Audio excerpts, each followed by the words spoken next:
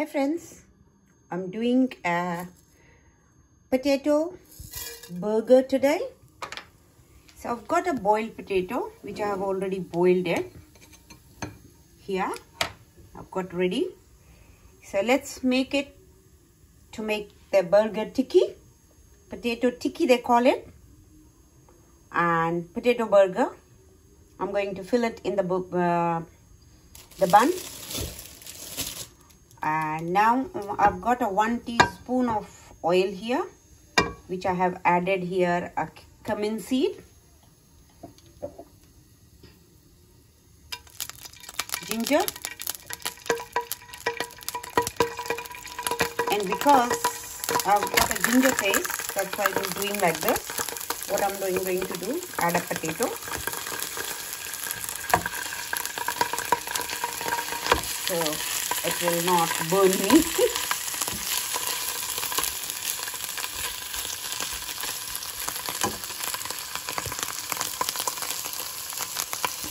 Just put a little bit more all of it.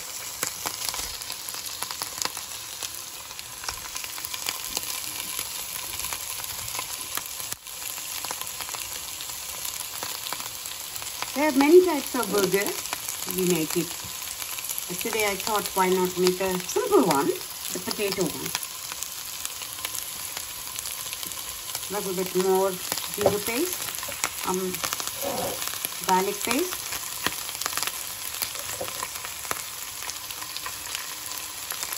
And uh, I'm going to do a green chili paste. So I've got all of them in the paste form because it is boiled so nicely it will get mashed. Not to worry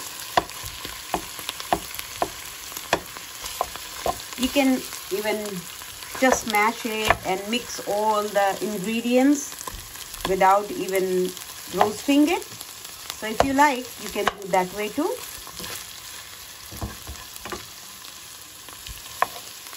With the potato masher I'm going to mash it soon.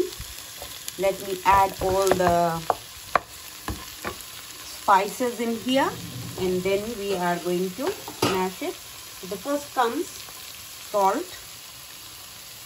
I'm using a pink Himalayan salt which is people they call it sendha namak. So if you don't have that don't worry you can use the normal one. Dry mango powder. Chili powder just add chili powder according to your taste.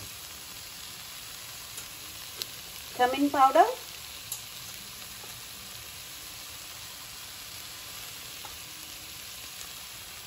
And quarter teaspoon of garam masala. All that spices goes in here. Potato is ready. I'll let it cool down a bit and then we are going to make a burger fry them. By the time I'm going to make a fresh breadcrumb I've cut the sides. And then now I'm going to grind it. Just a little bit more this one. So I'll just cut it. And I don't throw them. I give it to my birds outside. So I cut that and now grind it. So when we are using the breadcrumb for the burger, the potato burger, aloo whatever you call it. And in, on that, we are going to coat it with that this breadcrumb. Other than that, I have made some coleslaw.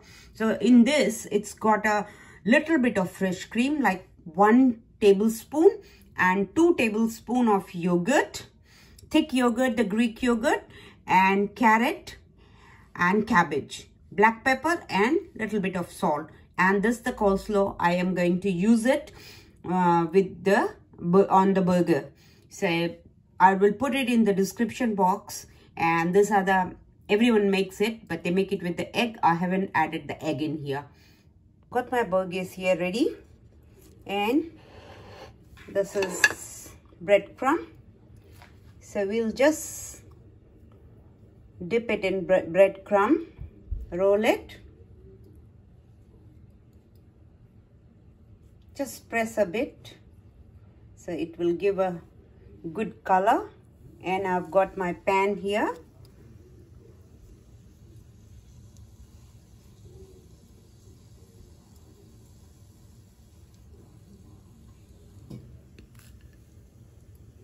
So I'm going to do all of them same way. Just roll it. Keep it for pan fry.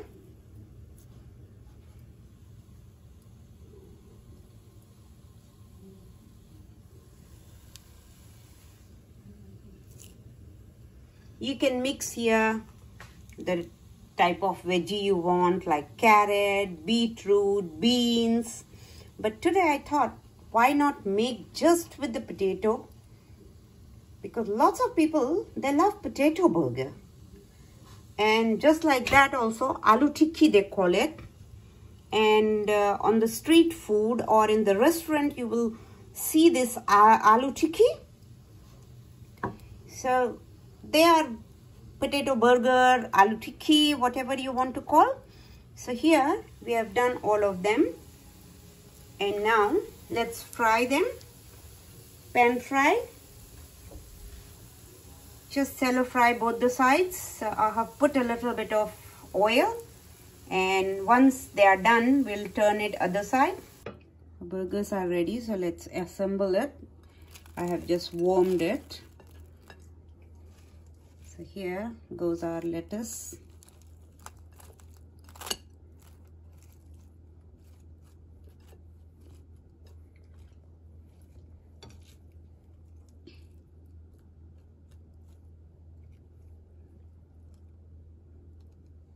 Tomato slice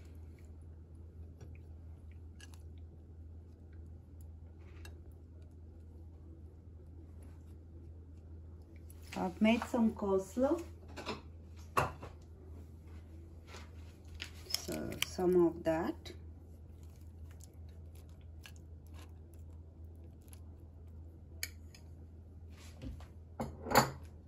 Now we'll keep our burger in the middle. For this tomato, I'm going to sprinkle some black pepper and salt.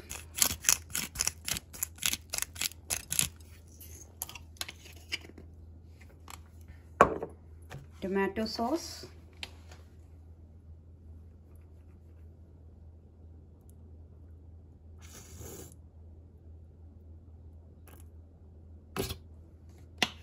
You can add greens uh, sauce tamarind if you like it but I'm not adding it. This is little bit of peri peri.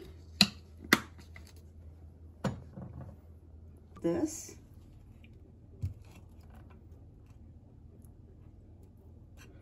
Just arrange a toothpick. And I've got potato. You can serve it with potato chips.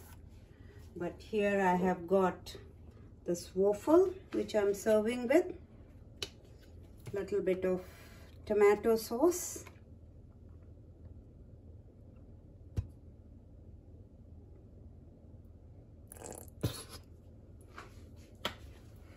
And uh, salt.